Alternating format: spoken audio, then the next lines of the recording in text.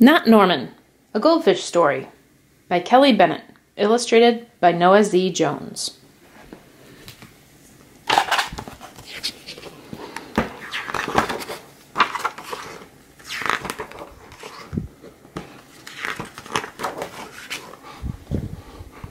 When I got Norman, I didn't want to keep him. I wanted a different kind of pet, not Norman.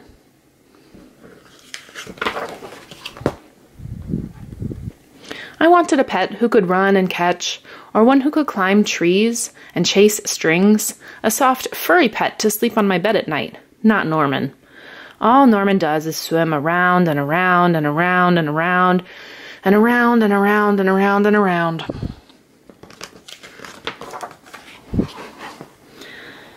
This is it, Norman, I decide. I'm trading you for a good pet. Norman doesn't move, not even a fin twitches. How can I trade him like this? No one will want a sorry looking fish in a gunky bowl. When I drop Norman into his nice clean bowl, he starts dipping and flipping and flapping his fins around. He looks so goofy I have to laugh. Don't think that just because you made me laugh, I'm going to keep you, I tell him. Tomorrow you're out of here. Norman blows a stream of bubbles. The next day, I take Norman to school with me. If I talk him up real good during show and tell, maybe someone will want him. On the way there, I see my friend Austin. Austin has a real cool dog and seven puppies. Want to swap one of your pups for Norman? I ask. Who's Norman? asks Austin. My goldfish, I say. By the time I rescue Norman, half his water is gone.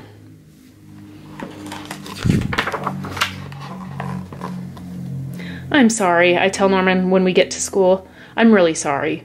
He just stares at me all googly eyed. Finally, it's my turn to show and tell. Just as I start to talk about goldfish, Emily shouts, Jenny's gone! Who let my snake loose?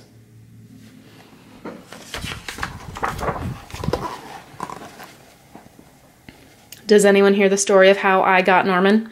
Does anyone even ask to hold his bowl? No. They're all jumping and screaming and chasing the snake. Not Norman. He's looking right at me. Thanks for listening, I tell him.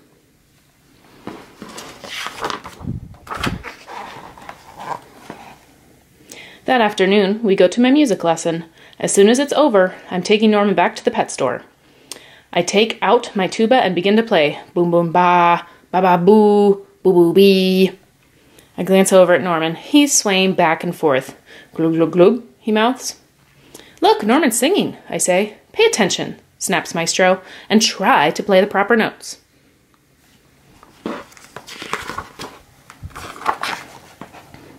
Maestro makes me stay for extra practice. By the time my lesson is over, it's too late to go to the pet store. I don't don't think that just because you like my music, I'm going to keep you, I tell Norman. He glugs.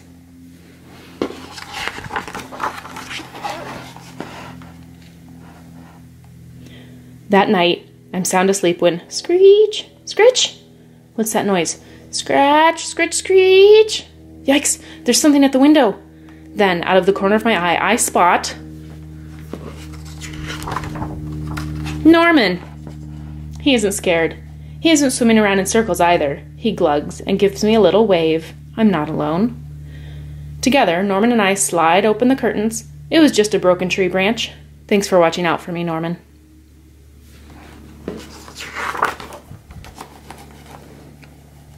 On Saturday, I take Norman to the pet store, just like I said I would. I look at the cats and dogs and snakes and birds. I look at the hamsters and mice and lizards too. They all look like good pets, but they are not Norman. When I got Norman, I wasn't sure I wanted to keep him, but now, even if I could pick any pet in the whole world, I wouldn't trade him. Not Norman.